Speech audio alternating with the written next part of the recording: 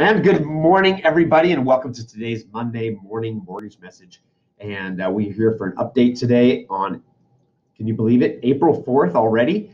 And um, let's jump right in because we saw a little stall in the rates on their decline, and uh, it was a little bit of good news. So let's kind of look to see what's happening right now. Today we're down a little bit, but let's look at the actual markets. Let's look to see what these the candlestick charts are showing us as you saw, let me show you this real fast. This is a pretty distinct trend line. And if you look at this trend line where we're at right now, we bumped above it right here. We locked a bunch of loans right here before it fell back down. But we're right on that trade that trend line. So that's not a good sign. If we can break above that, uh, rates may get better. But we did see, I mean, we dipped all the way down here, guys, and came all the way back. So we did see some positive movement um, but we are still on that trend line downward on the bond market, which is not good for rates. So let's kind of see, let's give you an idea of where we're at right now for the, month, the uh, Mortgage News Daily daily rate survey. So 30 year fixed right now, we're at 4.88. That's a little bit worse than where we were last week on Friday when it closed.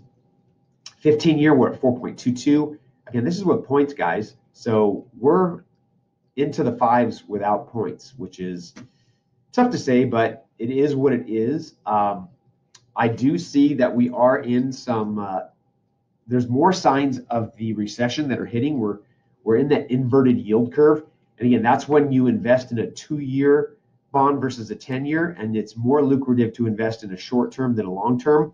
That that's not normal. That's not really the way things are supposed to work. Usually, the longer the term, the more money you can make on your investment when you're buying bonds. So, that is an indication of a recession. Typically, that means within 90 to 180 days, we will be in a recession. Uh, that's the average once we see an inverted yield curve. And with the Feds raising the Fed funds rate, uh, most likely 50 basis points in May, uh, and then an additional 100 basis points for the remainder of the year, the Feds may just go ahead and push us into that recession. Recessions are good for rates, so they're good for mortgage rates. Keep that in mind.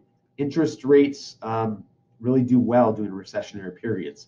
So that could help us and give us a little relief there, which could in turn help the housing market.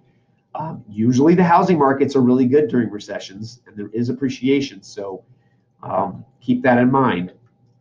So this is your mortgage rate update for the day. Um, again, rates right around the 5% with no points. And if you guys need anything, I will always be here for you. We are the Wohland Mortgage team of Cherry Creek Mortgage, wohlandmortgageteam.com. You can always reach me direct on my cell, 480-322-4544. That's 480-322-4544. Have a great day, guys. We'll talk to you soon.